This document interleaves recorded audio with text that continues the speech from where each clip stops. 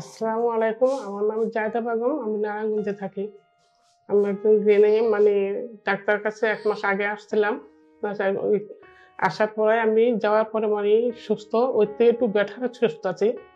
এখন আবার রিটার্ন আমি ডাক্তার কাছে দেখা করার জন্য আসছি বা জানার জন্য আসছি। যে মানে আমি বলতে আগে আমার ডাইন হাত আমি লাড়া লাড়াচাড়া করতে পারতাম না, খুবই কম। মানে বাম পাটা চাপাইতে পারতাম না, এখন চাপাইতে পারি। হাতও আমি নাড়াচাড়া করতে পারি, কোনো সমস্যা নেই।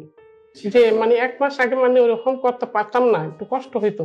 এক মাস পর থেকে আমি নিজেরটা নিজের কাপড় চোপড় নিজে দিতে পারি গোসল টোসল নিজে করতে পারি, নিজেই মাত্র আসা যাওয়া করি মানে নামাজ পড়তেছি, অজু টজু করতেছি, সবকিছু কোনো সমস্যা হয় না।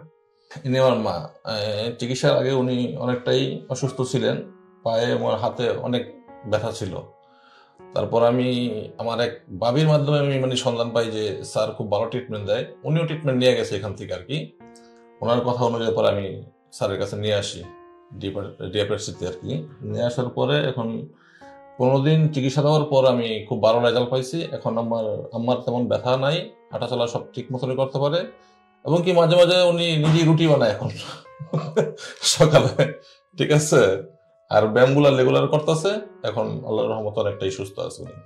আমার মা, এখন কাজকর্ম সব ঠিক কথা আমার খুব ভালো লাগতেছে। কারণ আগে অনেকটাই আমরা ইয়ে ছিলাম। অনেক ডাক্তার দেখাইছিলাম নারায়ণগঞ্জে, কিন্তু ওনার ব্যথাগুলা কোনোভাবে আমরা মানে করতে পারিনি। আর স্যার আজকে দেখল, দেখা বলল যে ওজন কমছে নাকি? আমার আমার আগের থেকে ওজন এখনও সাত কেজি কম, এক মাসে।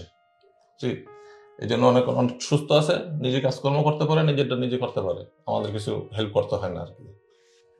আপনারা সবাই দোয়া করবেন যেমন আমার আম্মা, মরণের একদিন পর্যন্ত আল্লাহ সুস্থ রাখে থাকে।